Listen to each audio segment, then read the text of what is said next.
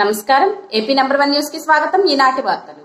పొదిలి మండలం కాటూరువారి పాలెంలో త్రాగడానికి నీరు లేదని ఎరుకుల యానాది కులం వారు పొదిలి ఒంగోలు రోడ్డు నందు ఖాళీ బిందెలతో ధర్నా చేస్తున్న ప్రజలు.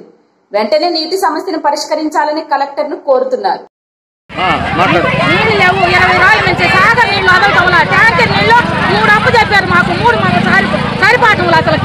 వారానికి ఒక మూడు టిప్పులు కూడా. మేము ఎట్ట బతకాలి? చెప్పండి సార్. నోరు లేవు ఐదు.